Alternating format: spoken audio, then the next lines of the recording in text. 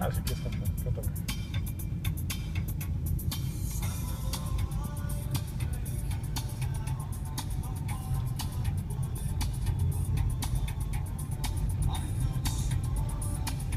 No sé por qué la gente no sale a caminar al malecón. si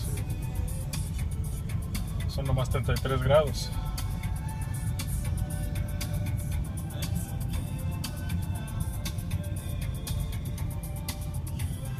Este es Loreto.